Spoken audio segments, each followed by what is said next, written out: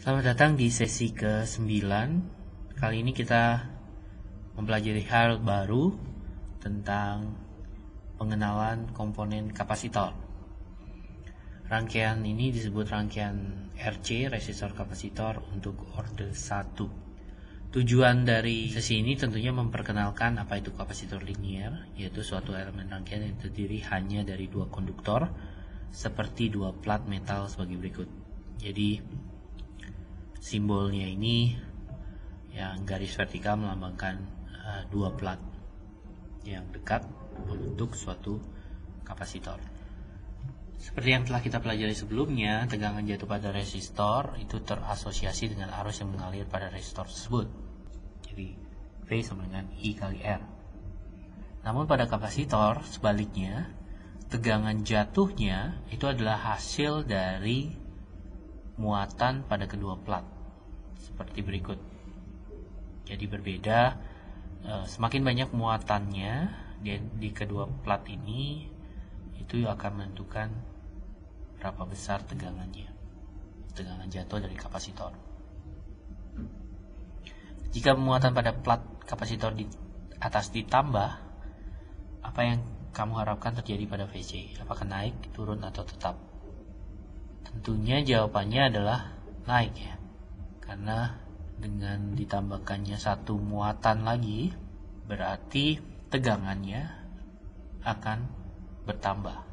Tentunya ini kita dalami dengan kurva karakteristik dari soal kedua yaitu grafik yang menunjukkan bagaimana um, muatan di kapasitor atau coulomb itu berubah sebagai fungsi dari VC.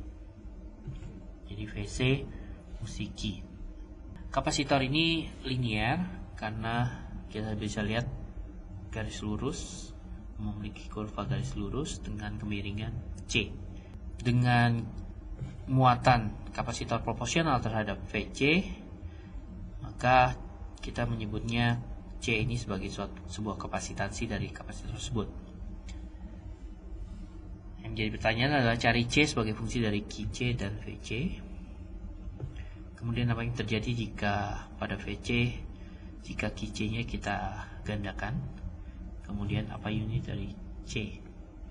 Nah, untuk menjawab yang pertama tentunya C sama dengan QC per VC karena dia proporsional. Jadi C ini hanya rasio antara Q per. Nah, untuk mempermudahkan analogi ini bisa digunakan di mana ini dianggap sebagai bak air kemudian muatan itu dianggap sebagai airnya kemudian landasan baknya disebut sebagai kapasitansinya. Maka semakin banyak muatannya tentunya tegangan kapasitornya semakin naik nah sehingga dengan demikian jika VC nya kita gandakan tentunya QC-nya juga menjadi dua kali lipat. Karena ya rasionya proporsional. Artinya base base dari kolam ini tidak berubah sehingga jika kita mendapatkan tegangan yang dua kali lipat itu sama dengan muatannya dua kali lipat Soal yang ketiga ditanya jika diketahui sebuah kapasitor linear dengan nilai C di mana C adalah dalam farad jika QC-nya sama dengan 10 pangkat min 6 Coulomb saat VC-nya sama dengan 2 volt. Perhatikan bahwa farad adalah singkatan dari Coulomb per volt, di mana 1 farad sama dengan 1 Coulomb per 1 volt. Juga perhatikan bahwa 1 mikrofarad sama dengan 10 pangkat min 6 farad. Kita tahu bahwa C sama dengan QC per VC, jadi nanti kita akan dapatkan satuannya uh, farad. Karena ini Coulomb per volt. Kemudian berapa muatan pada plat kapasitor saat VC sama dengan 10 volt. Kita bisa tahu jika kita sudah mengetahui C-nya. Jadi untuk yang A kita dapatkan 0,5 mikrofarad coulomb per volt. Kemudian dengan diketahui C-nya 0,5 mikrofarad, jika diketahui tegangannya, nanti kita bisa tahu muatan di dalamnya yaitu 5 coulomb. Soal keempat, semuanya kita memiliki dua kapasitor C1, C2 dengan C1 lebih besar daripada C2. Sketsa kurva grafiknya dalam grafik yang sama, kemudian kapasitor mana yang memiliki kapasitansi lebih besar untuk menyimpan muatan. Atau dengan kata lain, kapasitor mana yang akan memiliki muatan lebih banyak pada platnya untuk sebuah tegangan yang sama pada kedua kapasitor tersebut. Kalau digambar tentunya karena C1 lebih besar daripada C2 dan C itu melambangkan kemiringan, berarti semakin miring. Sehingga untuk C1 itu tentunya memiliki kapasitas yang lebih besar untuk menyimpan muatan. Karena ingat, kalau di analogi, eh, C itu dianggap sebagai landasan dari kolam.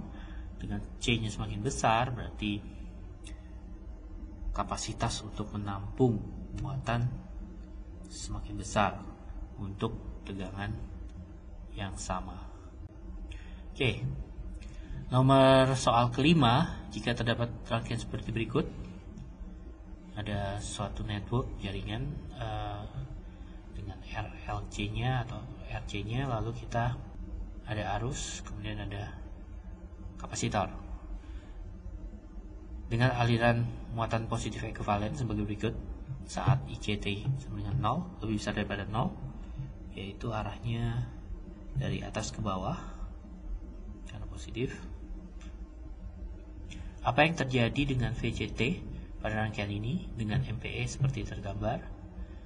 Jadi maksudnya apakah dia naik turun atau sama? Kemudian gambar ulang rangkaian ini dan menunjukkan bahwa aliran MPE muatan positif ekuivalen saat dia lebih besar VCT-nya lebih positif dan ICT-nya negatif. Kemudian C untuk saat VCT-nya negatif ICT-nya positif. Nah kita gambar ulang di sini dengan menggambarkan MPE-nya muatan positif ekuivalennya lalu kita dapat simpulkan kalau Q-nya naik berarti tentunya VCT-nya juga ikut naik tegangan jatuh di kapasitor.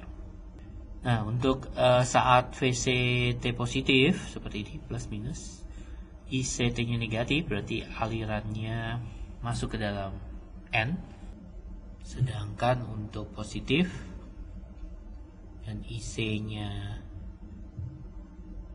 uh, IC-nya positif, kemudian VCT-nya negatif, berarti terbalik polaritasnya. Kita bisa dapatkan di sini plus ketemu min. Plus ketemu min berarti harusnya dia berkurang gitu ya. Tegangan di VCT nya di sini juga sama berkurang karena muatannya keluar dari kapasitor Sedangkan di sini memang masuk tetapi karena polaritasnya berbeda, dia masuk menjadi netral antara positif dengan negatif. Soal yang keenam, diketahui sebuah kapasitor linier sebagai berikut, yaitu ICT, kemudian VCT, ini kapasitansinya, jelaskan dengan kata-kata mengapa ICT sama dengan 0 saat VCT-nya konstan. Atau dengan kata lain, pada saat ini ada tegangan yang konstan, katakan 5 volt, mengapa arusnya 0. Kemudian apakah amplitude dari ICT besar atau kecil saat VCT berubah secara cepat? Bagaimana kamu bisa mengetahuinya? Nah jawabannya tentunya ketika VCT-nya konstan maka tidak ada arus yang mengalir karena kita tahu jika ada arus yang mengalir berarti tegangan jatuh di kapasitornya berubah. Tapi karena ini tidak berubah berarti tidak ada yang keluar, uh, tidak ada yang mengalir masuk dan juga tidak ada yang keluar tentunya. Kemudian yang B saat VCT-nya berubah-ubah baik naik atau turun maka amplitudo dari ICT-nya besar. Nah, ini benar juga karena perubahan dari tegangan jatuh di kapasitor itu tentunya disebabkan karena ada muatan yang mengalir masuk atau keluar.